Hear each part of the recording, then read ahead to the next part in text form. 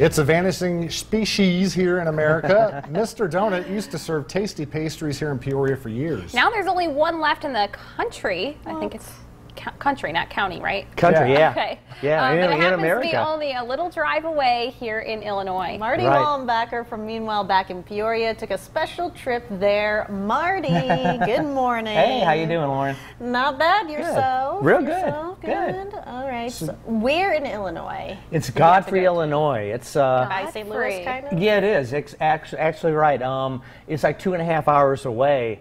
And I found out this was the last Mr. Donut.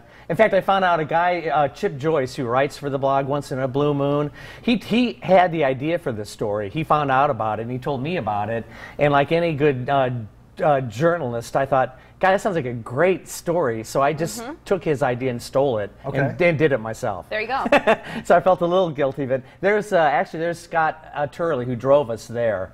He's the MBIP uh, Big official road driver. trip, big Oh, road yeah, it was a road trip. Two and a half hours we went. There's there's an old ad for the Mr. Donuts, and there were four locations here in Peoria. Wow. Yeah, I remember. remember I haven't been to one in like 30 years. I was going to say, how long have they been gone from the area? Do you know? I think uh, like maybe the last one closed in the 80s. okay. There, there's the one in. Godfrey, Illinois, Oh my and they've got the original logo. Oh, wow. It was weird walking in there because I hadn't been in one probably since the 70s. There's the inside of it.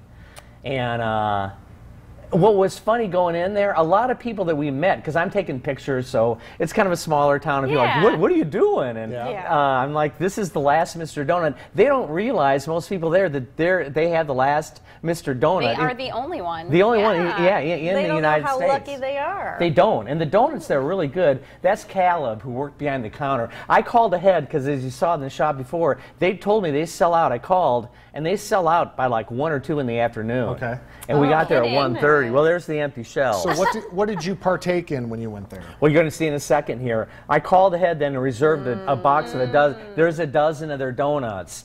And I'm telling you, biting into those was like biting into a, a slice of the past because wow. they are they really do taste different.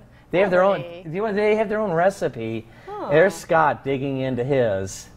And Nice uh, cup of coffee there with it. yeah, they, and they had their own special coffee that I when I put this up on Facebook, it was amazing. I never know how these are going to go. There, I'm biting into a chocolate, Chocolate float. Long John. Yeah. Yeah. Long John. I always call it a float. A float? Yeah. So how would you, how would you describe the taste of these compared to other donuts you've had? they're like thicker. Uh, they're they're a little sweeter. Ooh, Just a lot better. yum. And there's an old time ad they got on the walls. They have these. And uh, Caleb, who works there, he said that's from like the 70s. And it's like Mr. Donut makes it good. There's there's the uh, mat. Very cool.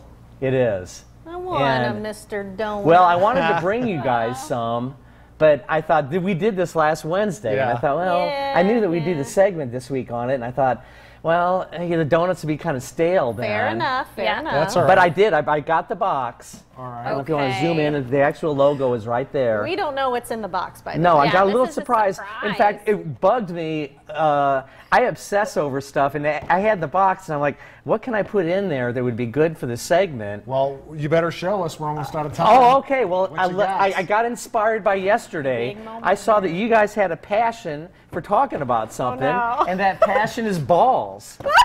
so, so I got some donut balls. Balls.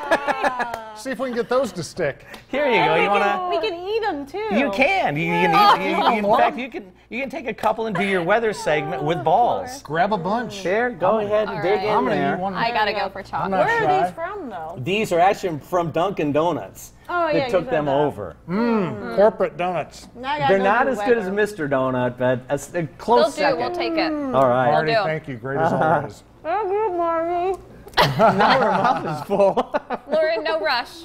No rush. Take your time. I know I can't enjoy it. Mm, it is good though. Mm.